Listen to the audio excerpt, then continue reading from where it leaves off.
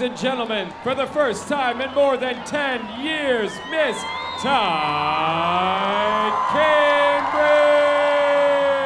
Cambridge! Music has always taken me to places that I didn't expect to go.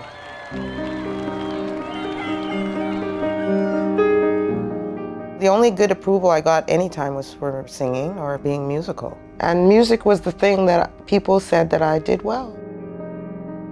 I got to play with some of the best musicians in the city. It was a really big scene, usually about 800 people in the room. It brought a full, rich life to me.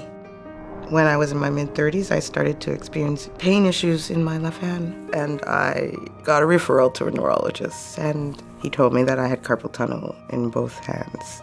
So I started playing less and less. I couldn't work, and that was the beginning of poverty, and I started to isolate myself.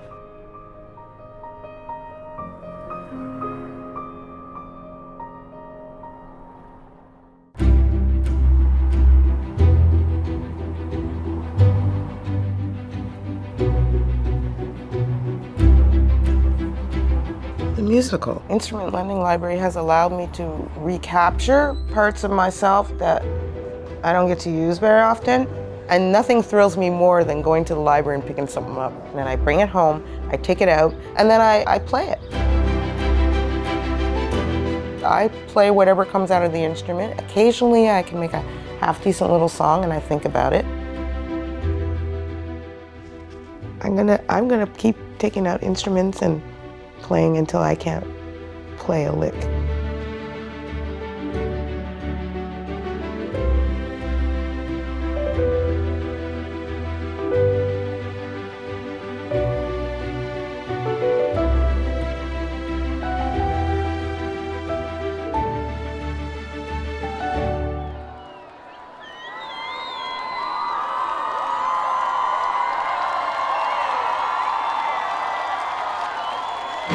I was sitting in my apartment, feeling pretty blue.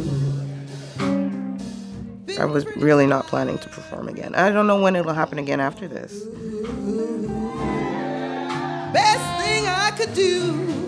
This show is fueling my desire to do something with my life. bad news, but now I feel a lot better. Feel a lot better. Feel a lot good.